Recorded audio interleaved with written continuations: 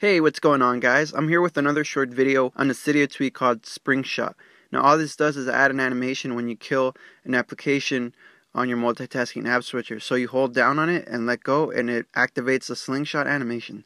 So that's pretty much it guys. Thanks again for watching. Hit that like button and subscribe and I'll catch you guys next time.